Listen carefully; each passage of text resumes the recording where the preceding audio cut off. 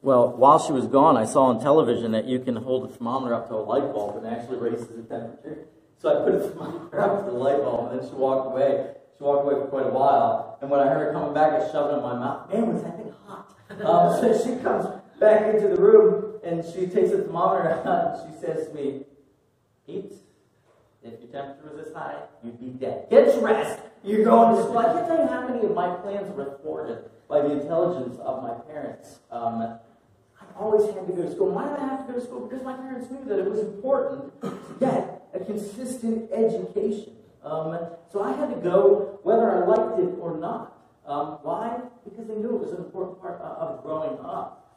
I know that you've been there too, and I know that you've been on either either side of the of the argument, one trying to stay home or the one forcing the kid to go. Because um, we're all there. We're all there at certain points in time. What I, what I find interesting is we can easily justify forcing the kids to go to school because it's so important.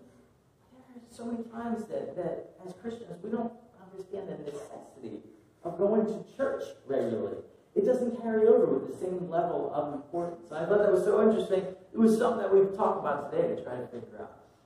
So let's uh, start with a word of prayer. Dear Lord God, we thank you for today, for this moment, for this time.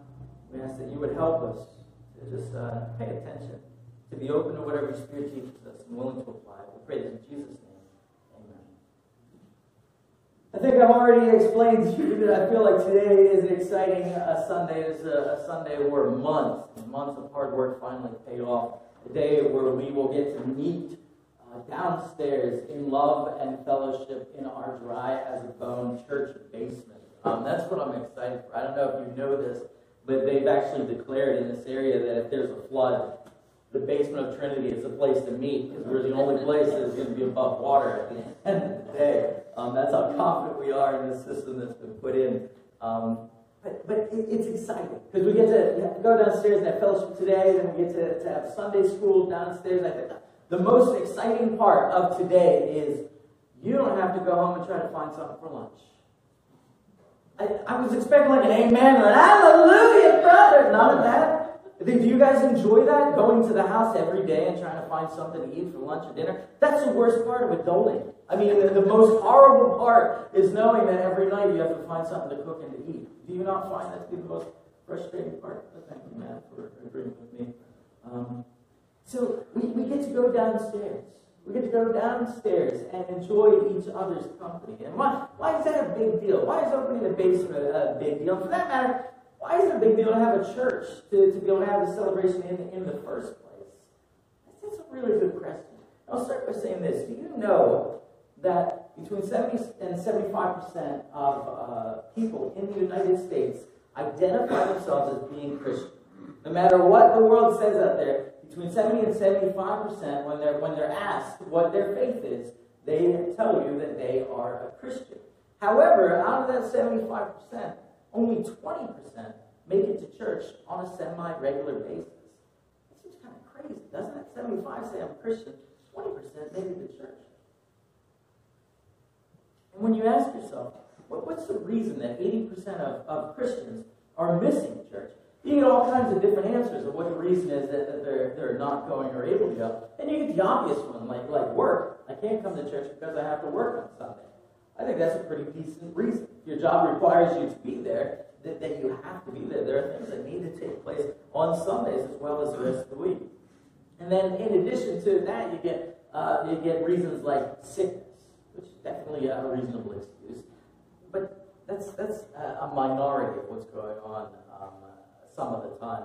The overwhelming majority of Christians who are missing church, it doesn't fall under these categories. No, instead, there's other reasons that, that people have chosen to miss church. One, one of those things is sports. Sometimes we miss church because of sports. Um, and it seems like more and more kids' sporting activities and practices um, are, are taking place on Sundays because Sunday is just treated as if it's any other day of the week. You see, kids' sports used to not be able to take place on Sundays because parents wouldn't bring their kids out. They would say, You have practice on Sunday or a game on Sunday? No, no, that's ridiculous. That's the day that we go to worship God as a family. So they wouldn't bring them out. So the, the, the organizations couldn't have them on that day. But nowadays, parents lots of times choose to miss church over missing the, the other activity. Um, that, that's, that's one of the reasons, but that's not that the only reason. There's other reasons. Um, one of the, the, the bigger reasons is because people get out of the habit of going. They do. Um, if you go steady and then miss a week, when you miss that week, you think, ah, oh, it stinks. I really missed church this week. I got to make sure I get there next week. But if you do it more than that, it, it starts with a week here or there. Then it comes to two in a row, then a whole month, then it turns to an occasional visit instead of an occasional miss. People just get out of the habit. It's one of the, the main reasons. And I hate to use the word habit there because the word that should actually be used there is discipline.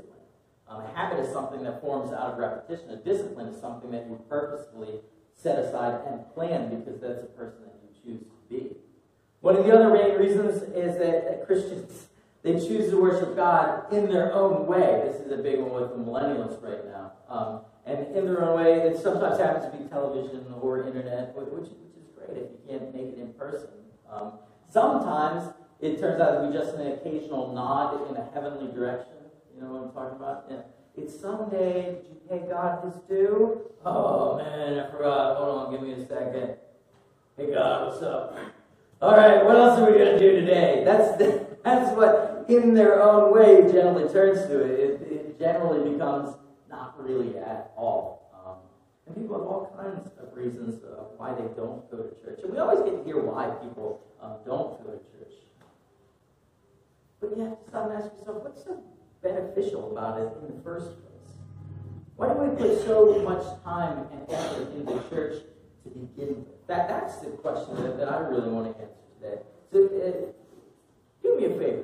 You got any pens in your purses or any pens in the pews? I forgot to throw extra in the pews, but I actually included uh, sermon notes right here. It doesn't say doodle space because I would actually appreciate it if you would write down because I'm going to give you a couple of words and then I would like you to think later on these words to, to see what they mean to you in your individual situation as I have uh, thought about what they mean to me in mine.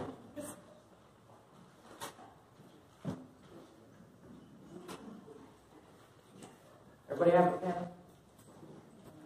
Ag has 50 in her purse. If, uh, if you do not have one, can you just toss them in that general direction?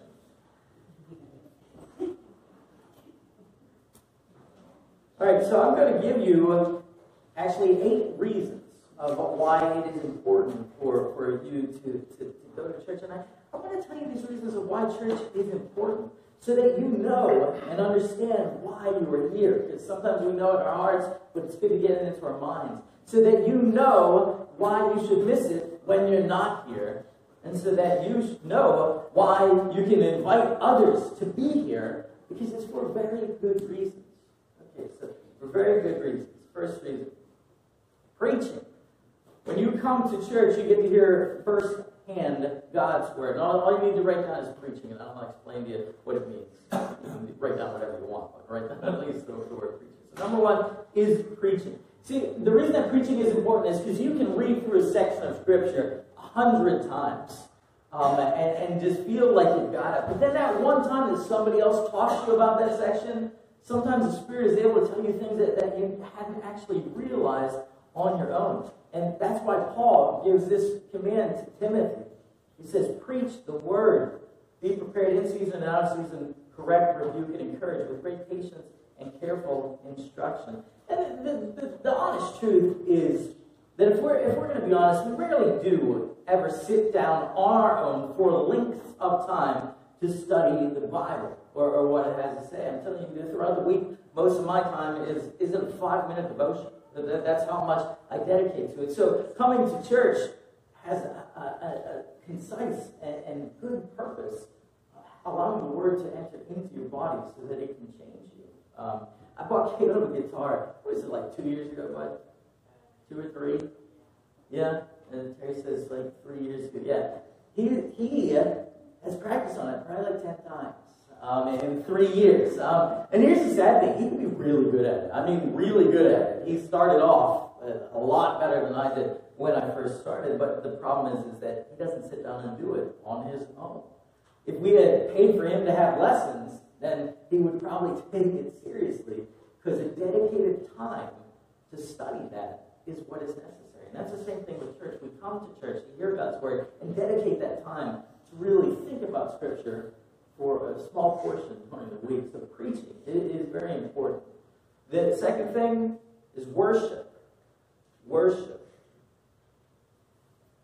When we gather together, we come here to participate in corporate worship. Why is worshiping so important? Well, Steelers game is on today, right? Anybody plan on watching that? After last week, I didn't think so. Um, so we, we probably will. But one thing that you can be guaranteed of is that the stadium will be. Wait, are we at home or are we away? Oh, the stadium will be full of Steelers. Even if we were away, it would be. Um, the Steelers fans travel better than anybody else. But we will have a stadium full of Steelers fans. And you think, okay, why do these people take all this time out of their schedule to, to go to this stadium every week? I mean, think about it. They'd have a much better view on their living room TV. No matter where you're sitting at the stadium, the living room has a better picture. The beer at home is a lot colder and a lot cheaper. Um, so you got better refreshments. Um, the bathroom, man, there's no obnoxious line and you don't have to close your eyes while you're using it, pretending that you, you went to your happy place so that you don't look, take a look around you where you're actually going to the bathroom So you say, okay, why did fans show up then? It would be so much more pleasant at your house. It's because there is something special about being surrounded by people who think the same way you do and share your. That's what's special about corporate worship. Church gives us a chance to do just that, to worship God, our Father, together as one And we can really feel him here, feel his presence when we are worshiping him. Matthew 18 20, where two or three gather in my name, there I am with them. He's right here, right now, wanting to, to meet with you, wanting to instruct you, wanting to inspire you. Number three, iron. Iron. We come to church because iron sharpens iron.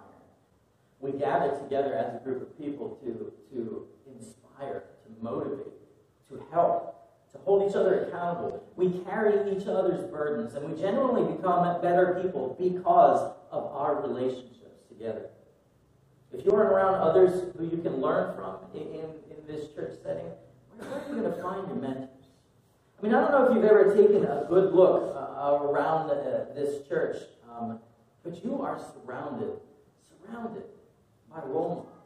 Then you yourself are a role model. I, I know that when you leave this place, people look to you for their inspiration instead of the way around. And where can you find a better group of role models than right here in Trinity Church? I believe that with all of my heart. Where can you be honest with people about your weaknesses? To, to friends who won't judge you. I tell you every week how big of a schmuck am, uh, over and over and over again. But yet you continue to come back. Why? Because that's what love is about encouraging each other to be better tomorrow than we were today. How does that happen? Through our shared relationships. Because iron sharpens iron. Psalm 27 17 it says, As iron sharpens iron, so one friend sharpens why we come to church. That's what we do for each other. The fourth thing is gifts gifts. And I'm not just talking about the occasional gift that you might receive at church. For example, an awesome brunch um, downstairs, or a Father's Day for a piece of meat, or a Mother's Day for a carnation. It's not just those gifts that we're speaking of. Instead, we're speaking of the gifts that you have, that you are offering to God by, by being a part uh, of this worship. Gifts that were given to you with the goal and intent of you using them to glorify God. See, church gives you a, a chance to do just that. Here's what 1 Peter 4.10 says. Says, Each of you should use whatever gift you have received to serve others as faithful stewards of God's grace in its various forms. You have been given gifts so that God through your service. And church gives you a very good opportunity to do just that. Number five, pastor. Pastor. Where else can you get such a good looking man who is also funny, intelligent, you know, all this? That's not, that's not what I'm talking about. Listen, 1 Thessalonians 5.12 says, Now we ask you, brothers and sisters, to acknowledge those who work hard among you, who care for you in the Lord, and who admonish you. Hold them in the highest regard of love because of their work. You know, believe it or not, you may not know this, but pastors need encouragement that all the efforts they're putting into to taking Jesus out into this world, that it actually means something. I'll be honest with you, there is nothing that kills a pastor's spirit or slows momentum like empty pews. People don't understand how much of an effect that, that, has on the pastor church. I can't tell you how many pastor friends I have who are battling depression because the devil gets in their head and says, Look at those pews. They're not full. Why, why, why, are you, why are you even here? What are you doing? Somebody could be doing this so much better than you are. One of the best ways to keep a pastor healthy is actually by showing up on a Sunday. Why? Because that says, non verbally, you're doing something that's worthwhile. We support you and want to be for you. We want to be there for you and for God during this ministry. Sixth thing, children. It's children. Your kids, your grandkids, neighbors' kids, kids, they're going to learn in school about social studies and math. They're going to gain all kinds of book smarts um, when you force them to go every day, whether they like it or not. But where are they going to learn about love? Forgiveness, selflessness, self control, sexual purity, honor your father and mother. Where, where are they going to learn those things? How can we justify, as parents, grandparents, and those uh, just responsible for children, how can we justify forcing them to go to school, but then allowing them to skip church? I mean, when you when you think about it, it it's slightly ridiculous. If, if they have to skip something, it should honestly be the other way around. That, that's the way that it should work. Matthew 6 26. I mean 16 26. What good will it be for someone to gain the whole world, yet forfeit their soul? That should be your number one goal in life. Number one. Because you think about it, your kid, your grandkid could grow up and they could be a great athlete. They could be a smart man or woman. They could land a great job. They could make lots and lots of money. Hooray. Because of your encouragement and commitment. But they don't know who Jesus is, much worthless. And, and do you understand that? I'm not trying to make anyone feel, feel guilty because in the end, it's always your child's choice to choose what direction that they desire to go. And God will find ways other than just you to make sure that the Holy Spirit is in his life. But you have to understand that as parents, grandparents, friends of children, your number one goal should be to introduce them to your Lord and Savior, Jesus Christ because that ranks above everything. And when you look at the scripture, Paul says everything compared to that is garbage, is manure compared to the knowledge of knowing Jesus Christ. Seven, impact. Impact. We gather together with the desire to make an impact on this community. And that's, that's what this church does out of love. I, I know that you know that because you respond to all the ministries that, that offer love to, to this community. I'm not going to read that to you, but it's, it's, it comes from Matthew, and you're probably familiar with it. That's what church should be about. You know, back in the day, uh, we didn't need to have a government to, who could help fund those who were downtrodden. Why? Because the church took care of that. At Trinity, we try to do our portion. We feed the hungry. We clothe the naked. We pray for the sick. We provide for the children out of love. The amount of generosity that pours forth from this church collectively is absolutely amazing. Amazing. Um, we, when we were made aware, when we're made aware of need, the church just jumps into it. I mean, head first just dives right into the deep end. We were just told about a little baby, uh. Um, she was born super early, and she was coming home to a house that had nothing for her. In two days, in two days, with strollers, car seats, wipes, gift cards, toys, and so much more in two days. Together, we made a huge difference in the lives of people in a way that would be very difficult for us to do on our own. By the way, the little girl is home, and she's, she's doing great. The last thing, number eight. What's the reason? God says so. That's, that's the reason. God says so. The Bible tells us that we are to be meeting regularly. That's what our scripture this morning, the one that we, we skipped by, I wanted to give it to here. Um, Because that's what our scripture says from Hebrews. Let us hold unswervingly to the hope we profess, for he who promised is faithful. And let us consider how we might spur one another on. Ah, that's what we about. Towards love and good deeds. Not giving up meeting together, as some are in the habit of doing. Oh, we talk about this is amazing. Um, we talk about that too. But encouraging one another all the day more as the day is approaching. Let me close by saying this, folks. In our everyday lives, we must choose what we're going to do and what we're not going to do. We can't squeeze everything in. We just we just cannot do it. It's it's impossible to put the amount of things in there that we're trying to get into. But as you prioritize what is important and what can be skipped, I just want you to remember how important attending church is to the health and well-being of a Christian.